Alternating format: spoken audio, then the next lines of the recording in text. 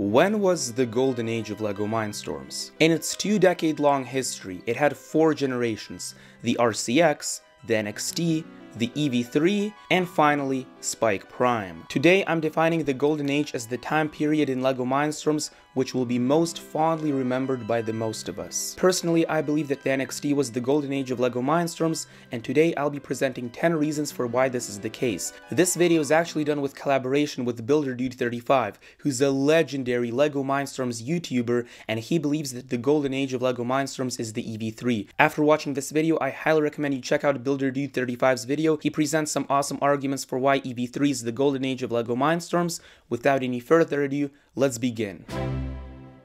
At number 10 we have HiTechnic third-party sensors. This was a company that worked directly together with the official LEGO company to produce sensors for the LEGO Mindstorms NXT system. They had an abundance of various different sensors, but their two most useful ones are the gyro sensor and the infrared receiver. This is the HiTechnic HTWay Segway, and on one side it has the infrared receiver, and on the other side it has the HiTechnic gyro sensor. It uses the gyro sensor to balance itself upright. It is essentially essentially a two-wheeled inverted pendulum that you can also control using a Power Functions remote. So many fans of LEGO Mindstorms were constantly designing LEGO Mindstorm segways, and the HiTechnic gyro sensor is definitely one of the reasons for why there were so many segways created. One man by the name of Laurens Valk, who's a mechanical engineering student, actually has a blog called Robot Square. He became very well known through designing a ton of LEGO segways, and his most influential one is the Anyway Segway. What made the Segway so appealing is is that without even having to understand the balance code,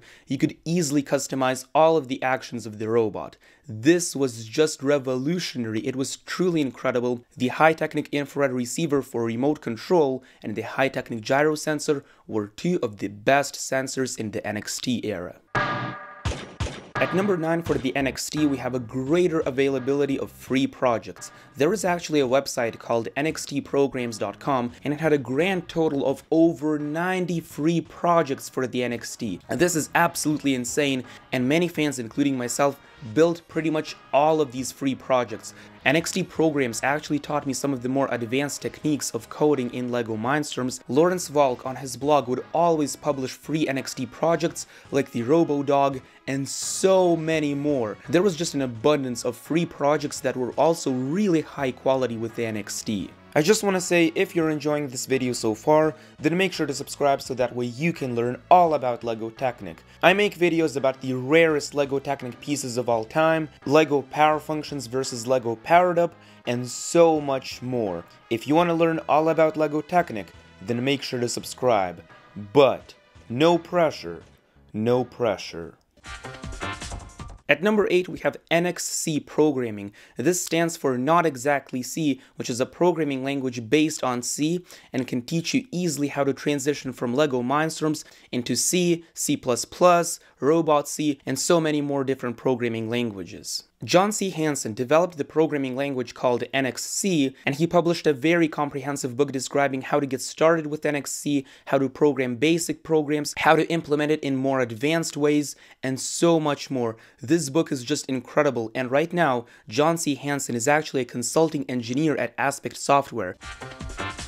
At number 7 we have the sound and temperature sensor. The sound sensor specifically was developed for the NXT back in 2006 and this sensor is just legendary. Many Mindstorms enthusiasts were actually using this set to recognize words and use it for voice controlled robots. You could program the NXT to recognize basic phrases like go, turn left, and turn right. This sound sensor was absolutely incredible. We also have the LEGO Mindstorms temperature sensor. This sensor was developed for LEGO Mindstorms NXT Education, and the sensor was pretty incredible. However, in my opinion, the sound sensor is a lot cooler.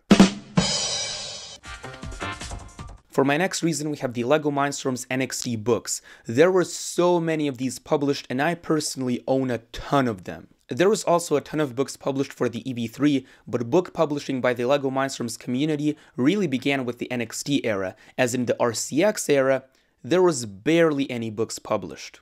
Maybe only a couple, but not a lot. With the LEGO Mindstorms NXT, there was tens, if not maybe a hundred different books published by the community. And all of these books gave you so much inspiration, so much tutorials, so much guides on how to program, how to make your robots way more advanced.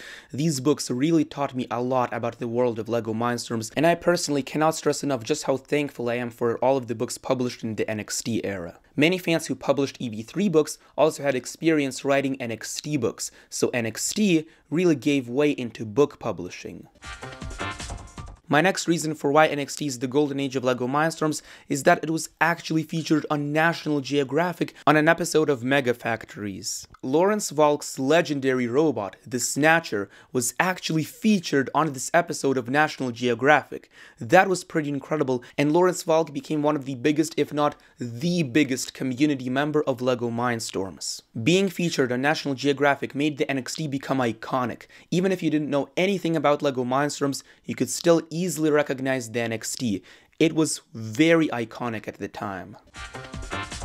In the NXT era of LEGO Mindstorms, we also got the special edition Black NXT. This was made to commemorate the 10th anniversary of LEGO Mindstorms, and there was only 1,998 copies of this Black NXT made as an homage to the year 1998, which is the same year LEGO Mindstorms was released. The Black NXT is one of the coolest parts about LEGO Mindstorms. A sealed copy of the LEGO Mindstorms Black NXT on Bricklink goes for $165. That is incredibly expensive, so the Black NXT is a very rare thing.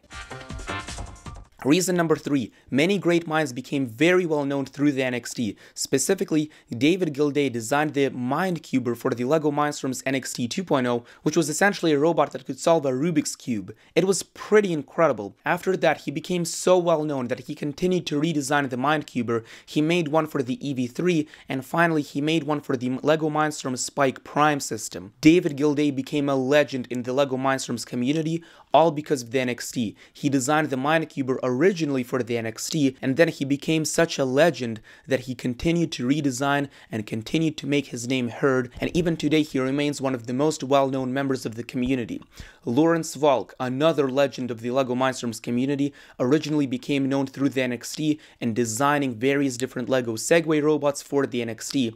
Then he designed the Balancer robot for the EV3, he published a book, the EV3 Discovery book, which sold many, many copies. He also worked on the LEGO Mindstorms BB-8 project, and so many more different LEGO enthusiasts became very well known from the NXT. At reason number two for why NXT is the golden age is that NXT was the most popular generation from LEGO Mindstorm's history. As you can see, here's a graph of worldwide YouTube search trends for the keyword Mindstorms. As you can see, the NXT era is just slightly more popular than the EV3. And if we take a look at another graph of web search trends from 2004 until present of the keyword Mindstorms worldwide, to the left you can see there was a massive peak in 2006. This was when the NXT 1.0 was released, the NXT generation was released. And here on this graph, you can see that both the NXT and the EV3 were pretty popular, but 2006 does have that massive outlier peak, which shows that there was clearly a ton of interest for the NXT 1.0.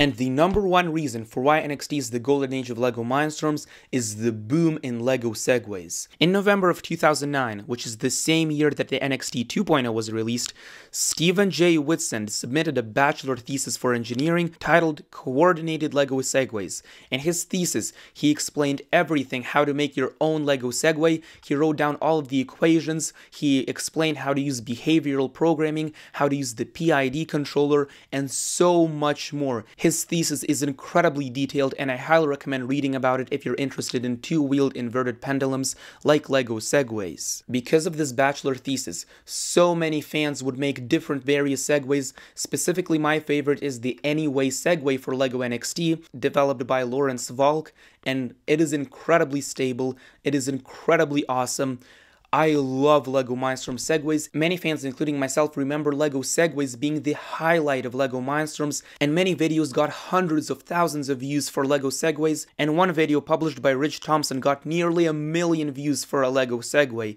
It is pretty incredible. LEGO Segways were very popular at the time, and I'd even argue that the LEGO Mindstorms EV3 Education Gyro Boy was developed only because of the popularity of the LEGO Mindstorms NXT Segways. If you personally believe that the EV3 was the golden age of LEGO Mindstorms, then check out Builderdude35's video on why EV3 is the golden age of LEGO Mindstorms. Be sure to check out my reasons on why the LEGO Mindstorms Robot Inventor set 51515 has some key advantages over the EV3 system.